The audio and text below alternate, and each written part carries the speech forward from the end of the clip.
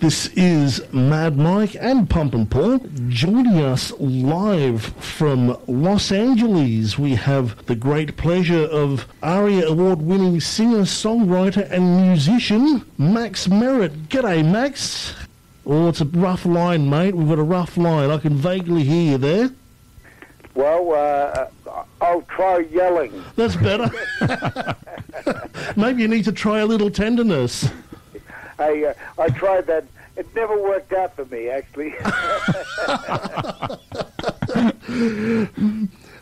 Fantastic. Thanks for, for joining us, Max. It's uh, fantastic to have you. now you, you you guys are in Sunbury, right? We are. This is 3NRG in Sunbury, mate. That's wonderful. Yeah, yeah. Uh, very great memories of Sunbury.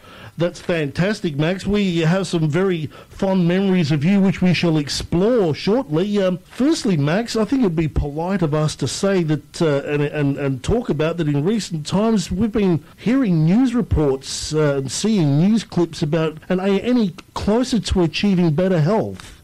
Oh, I- I'm I'm doing fine. You know, hey, uh, I'm glad to have uh, lived to the grand old age of being 72. You know, like every morning I wake up, I'm breathing, I'm fine. Uh, I can't complain. I've had a wonderful life. Obviously, uh, I have to go and do dialysis three times a week. But Damn. hey, uh, you know, what's the alternative? You know, That's it. yeah. Maybe you might need to have a, a kidney transplant or something like that at somewhere Oh, down yeah, the track. I'm, I'm on a list for that. But uh, the thing is, you know, hey, I've had a great life. I, I can't complain. I'm just joyous to be living and enjoying life as it is. You're pumping Paul here, Max. Such a pleasure and an honour to speak with you. In other recent news, a lost album called Been Away Too Long that was recorded in 1969 has resurfaced. Tell us how that eventuated. Well, the strange thing was, I remember this actual day because uh, the young fella that, that actually put it out eventually, uh, he he came up to me. He was about 18 years of age at the time. We're loading the gear in at the, at the gig,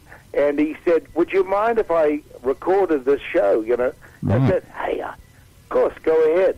And of course, he contacted me, uh, you know, 30 years later, and said, "Have a listen to this." You know, th- this was the night that I recorded it, A- and I thought it was a great recording. You know, it it kind of captured our our energy, and uh, I was so pleased. You know, Fantastic, Max.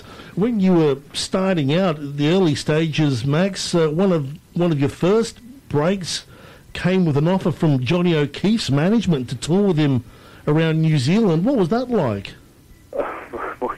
we we kind of got off to a rough start because he uh, actually uh, played Christchurch in New Zealand, where I was from, Yep. and I, I was kind of the local boy. And uh, what happened was I actually stole the show, and so we we didn't really get off to a good start.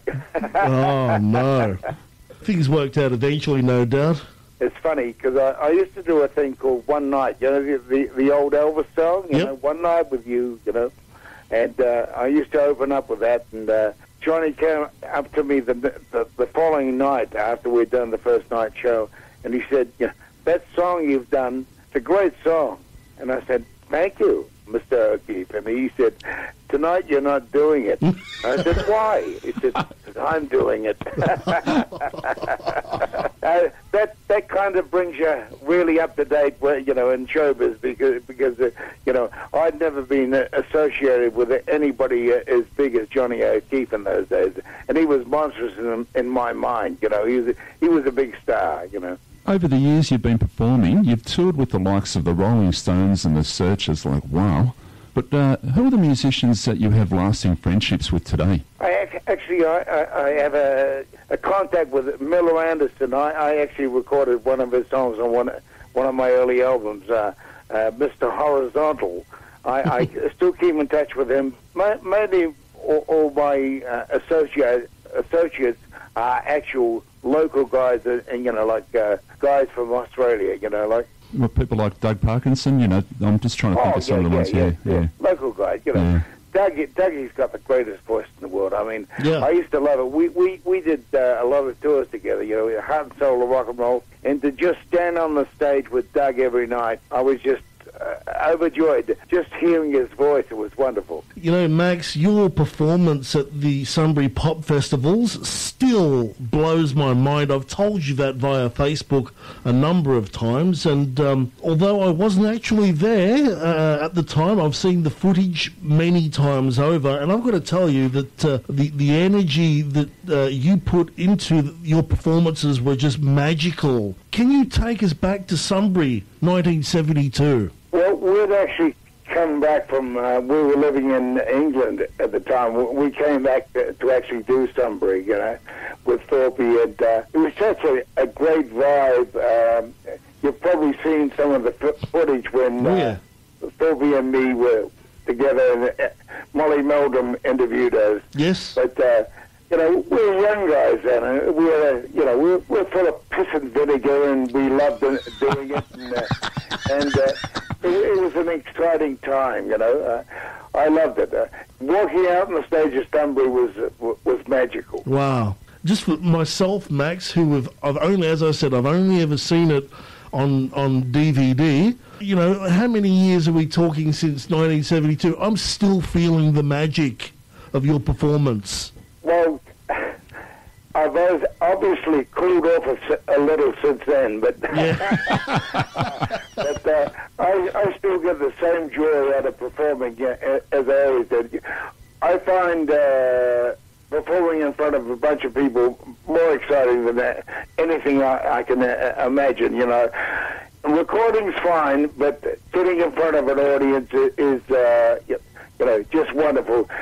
Instant gratification, you know. You, Yeah. you know, you know, you, you, you don't have to wait for uh, three months to find out whether you know whether you went down well. You find out straight away. Mm. They either, they either love you or they hate you. Yeah. Well, we love Yeah. you, Max, and that as I was, I got to come back to the fact that your performance at the Sunbury Pop Festival, it still blows me away. What a performance that was, really. Thank you, thank you. Wow. Well, I, th- I think Thorpie and me, we, we both had a good day that day. You know. I'd say so. I'd say Yeah. so. One of the songs that's touched the hearts of so many people around the world, Max, is of course the power ballad "Slipping Away."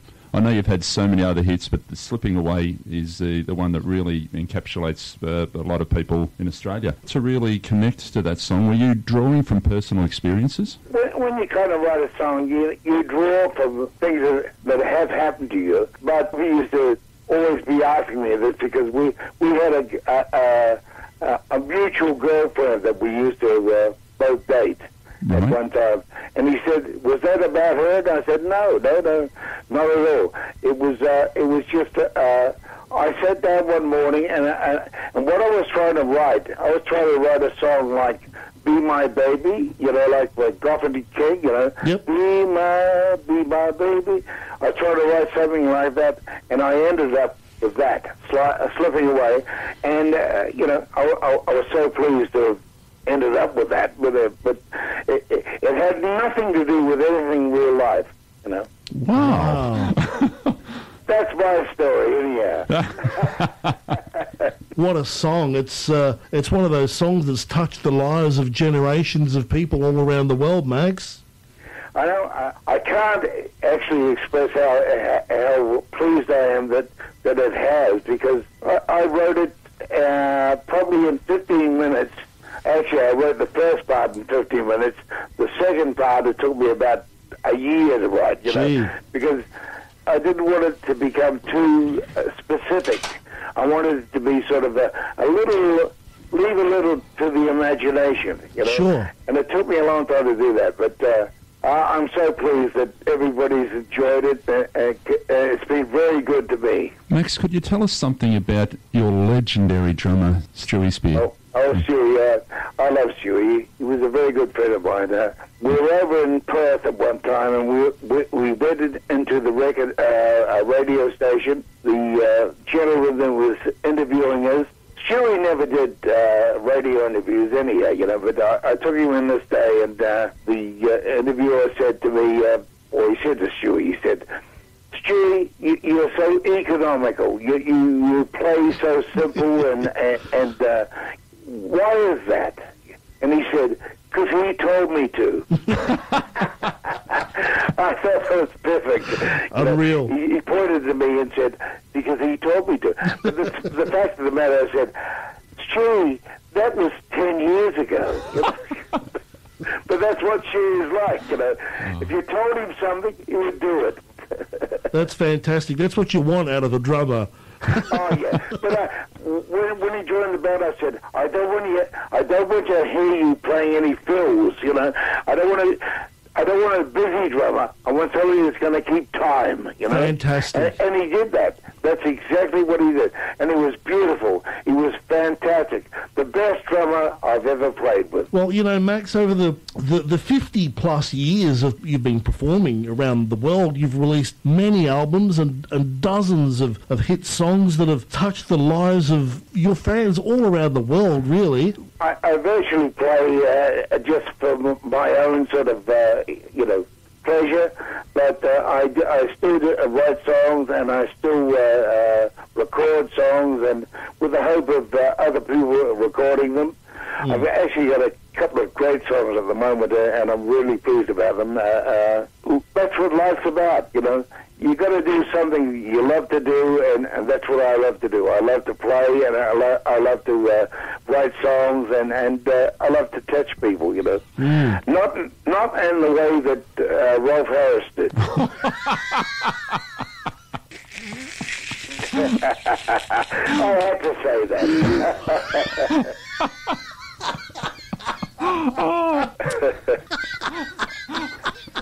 Where do we go from here? Oh, gee. That's, that's magic. That is magic.